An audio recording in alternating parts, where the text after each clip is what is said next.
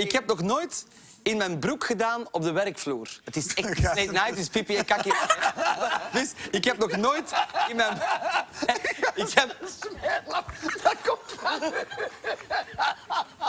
Oh, nou Dus ik heb nog nooit, nog nooit in mijn, in mijn broek... Ai, ai, ai, ai, ai, ai, ai. Wat vertelt gaat vooral, maar. Nee, vertel dat zelf maar.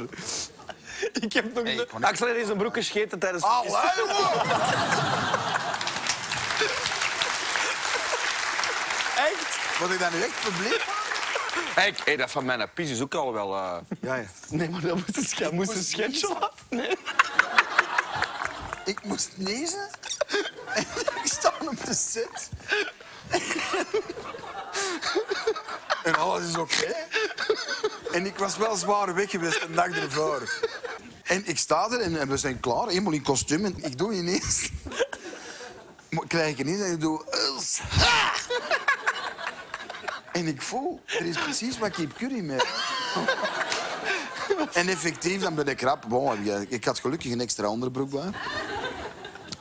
En eh, dan ben ik daar gewoon... allee, ja, bon. En ben ik naar de, naar de opnameleider gegaan. Ik gezegd van, vijf minuten, nu vraagt me niet waarom.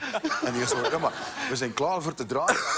En dan zeg vijf minuten, no questions asked. En dan ben ik gelopen naar de dingen. Oké, oké.